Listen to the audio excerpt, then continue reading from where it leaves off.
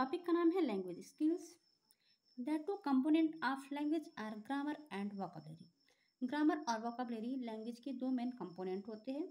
The proper और natural order involve in learning language is listening speaking reading and writing भाषा अधिगम के natural या फिर प्रॉपर ऑर्डर में लिसनिंग स्पीकिंग रीडिंग और राइटिंग इन्वॉल्व होते हैं. दस W means listening speaking reading and writing is the process of language acquisition listening and speaking are known as primary skill and reading and writing are known as secondary skill language learning के natural या फिर proper order में listening speaking reading और writing involve होते हैं।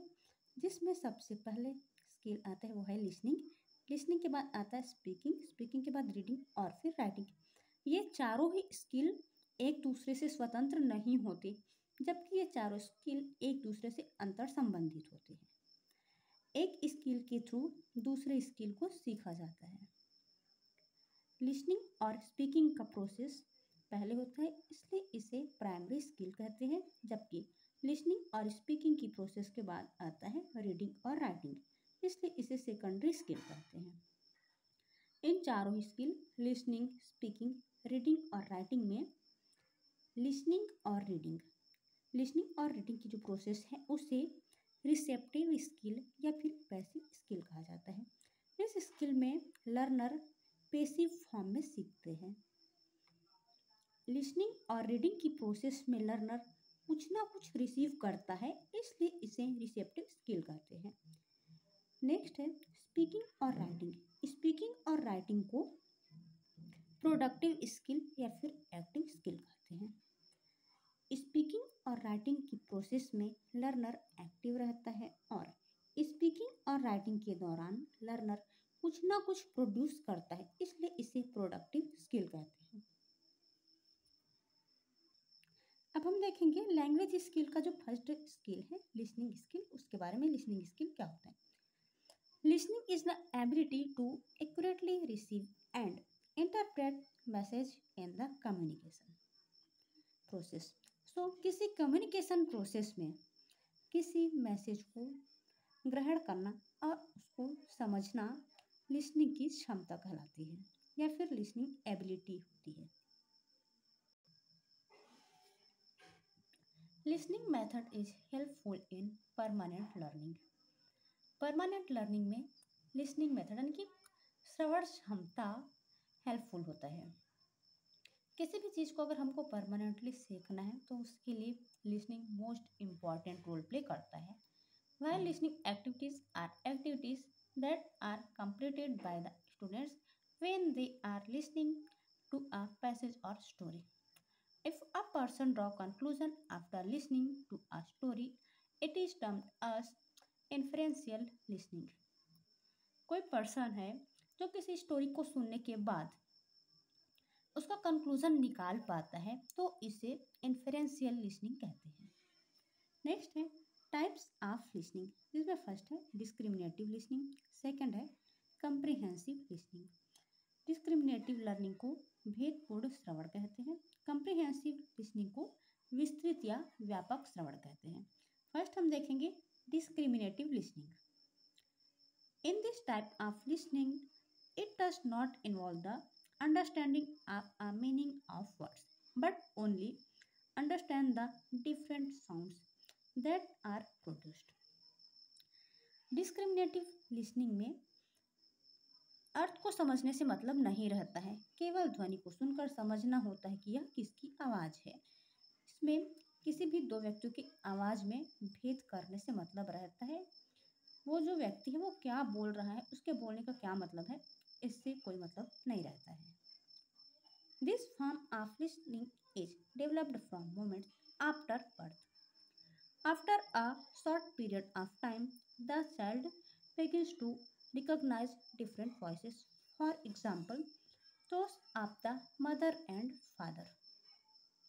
यह कौशल शिशु में जन्म के बाद से ही विकसित हो जाते हैं अलग अलग आवाज़ों को पहचानने लग जाता है बालक जन्म के कुछ समय बाद बालक अपने माता और पिता के आवाज़ में अंतर करना सीख लेता है माता की आवाज़ और पिता की आवाज़ को पहचान लेता है और अलग अलग प्रतिक्रिया देता है सो डिस्क्रिमिनेटिव लिसनिंग, वह लिसनिंग है, जिसमें हमें किसी ध्वनि को सिर्फ़ सुनना होता है और दो ध्वनियों के बीच में भेद करने होते हैं। इससे कोई मतलब नहीं रहता है कि बोले जाने वाली ध्वनि से क्या अर्थ निकल कर आ रहा है। उसमें अर्थ को समझने से कोई मतलब नहीं रहता है। केवल ध्वनियों में भेद करना होता है। लिसनिंग का सेकंड टाइप है, comprehensive listening when you need to understand the deeper meaning of what someone is saying, then it is called comprehensive listening. Listening के इस प्रकार में शब्द या वाक्यों के अर्थ को समझने से मतलब रहता है।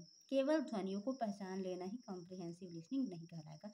कॉम्प्रिहेंसिव लिसनिंग वह लिसनिंग होता है जिसमें लिसनर किसी शब्द या फिर वाक्य को सुनता है और उसके प्रॉपर अर्थ को समझता है। To use comprehensive listening the listener first need appropriate vocabulary and the language skill comprehensive listening के लिए अर्थ समझने के लिए शब्द भंडार और भाषा कौशल आनी चाहिए। गुड कंप्रिहेंसिव लिसनिंग वह लिसनिंग होगा जब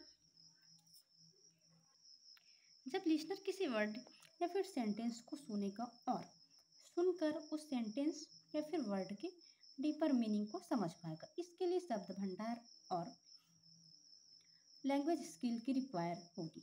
जबकि डिस्क्रिमिनेटिव लर्निंग लिसनिंग के लिए वोकाबलरी और लैंग्वेज स्किल की रिक्वायर नहीं होती है। नेक्स्ट है types of listening situation number one interactive listening in which we alternately listen and speak and in which we have a chance to ask for clarification repetition और slowing down from our conversation partner जब दो लोग बात कर रहे हो तो स्पष्टीकरण, दोहराव व आवाज़ में उतार चढ़ाव करने का अवसर मिले। इसे इंटरेक्टिव लिसनिंग कहते हैं। इसमें टू वे कम्युनिकेशन होता है। For example mobile call conversation student teacher talk जब मोबाइल कॉल में बात करते होते हैं तो स्पीकर और लिसनर दोनों ही के पास यह चांस होता है कि वो अपनी अपनी बातें कह सकें। इसी प्रकार क्लास में भी टीचर जब किसी चीज़ को समझाता है स्टूडेंट को, उसके बाद फिर स्टूडेंट जो समझे, उसको वो टीचर के सामने बता सकता है। स्टूडेंट के पास यह चांस होता है कि वह जो समझ रहा है, उसे अपने टीचर को एक्सप्लेन कर सके। इसमें टू वे कम्युनिकेशन होता है सो इस टाइप के लिसनिंग को इंटरेक्टिव लिसनिंग कहते हैं। सेकंड है non interactive listening in such situations we usually don't have the opportunity to ask for clarification repetition और slowing down one way communication for example radio और टेलीविज़न कम्युनिकेशन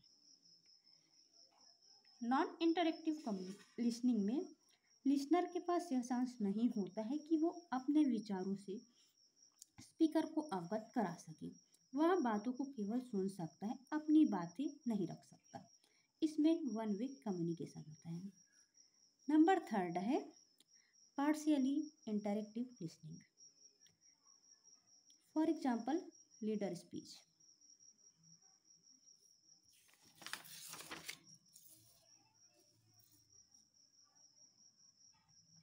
next skill है speaking skill good speaking skill is the act of generally words that can be understood by listener a good speaker is dare and informative a teacher can increase students to speak a new language by allowing them to speak freely will tolerating their mistakes बच्चों की गलतियों को सहन करते हुए एक शिक्षक को अपने स्टूडेंट को फ्रीली बोलने के लिए प्रेरित करना चाहिए।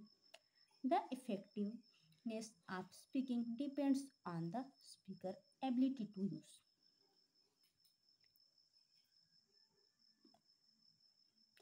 good speak वह होता है जिसमें जब हम अपने बात को किसी के सामने रखें तो जो लिसनर है वो उस बात को समझ सके।